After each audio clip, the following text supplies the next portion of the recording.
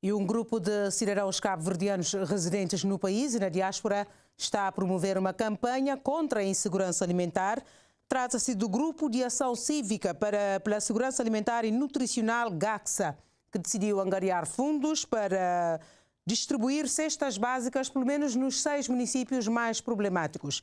A distribuição já poderá começar na próxima semana, segundo o porta-voz dos promotores desta iniciativa.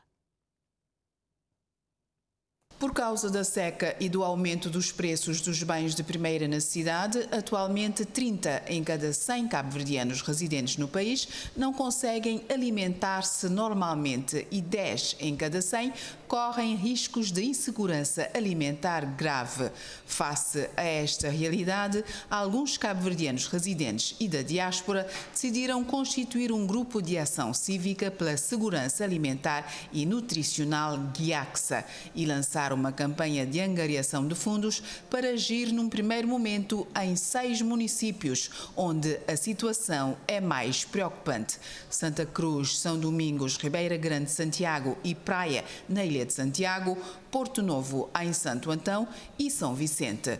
Já na próxima semana, a atribuição de cestas básicas com os fundos angariados poderá começar. Estamos neste momento a constituir grupos operacionais em cada um dos municípios eh, onde o projeto eh, estará com foco num primeiro momento e eh, já temos uma conta bancária cedida por uma entidade que é a Universidade Sénior, tendo em conta que tratando-se de um grupo não constituído formalmente, não podemos abrir uma conta e não quisemos também trabalhar com contas pessoais, portanto a Universidade Sénior Senhor cedeu-nos uma conta que será utilizada exclusivamente para esse fim. Em princípio, a cesta será distribuída quinzenalmente e em cada conselho haverá grupos operacionais de voluntários que irão uh, adquirir uh, com uh, os, os, recursos que o grupo a nível nacional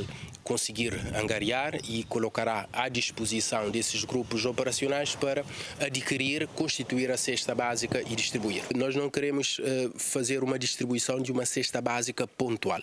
Queremos assegurar, pelo menos durante três ou quatro meses, eventualmente até o final do ano, para que essas famílias possam ter uma certa estabilidade emocional de que até o final do ano, altura que nós esperamos que o ano agrícola comece a dar resultados, esperemos que, de, que seja um bom ano agrícola e as pessoas possam ter melhores condições de acesso a alimentos.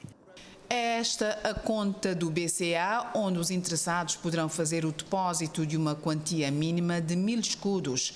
Há informações no Facebook e quem quiser poderá contactar também os promotores da iniciativa. Há uma página no Facebook, portanto, o Grupo eh, de Ação Cívica para segurança alimentar e nutricional, onde está o nosso número da conta bancária. Podem contactar os elementos uh, do grupo dinamizador para efeito de preenchimento de uma ficha de apadrinhamento. Portanto, nós temos uma ficha de apadrinhamento e, e temos uma ficha de beneficiários para que no final da campanha possamos fazer uma boa uh, prestação de contas à sociedade no geral e particularmente às pessoas que queiram participar. E quando quanto maior número de pessoas e de instituições pudermos uh, contar nesta campanha, maior número de famílias, sobretudo aquelas famílias com agregados uh, deficientes ou idosos, poderemos também contemplar. Vários membros conhecidos da imigração cabo-verdiana estão envolvidos no projeto.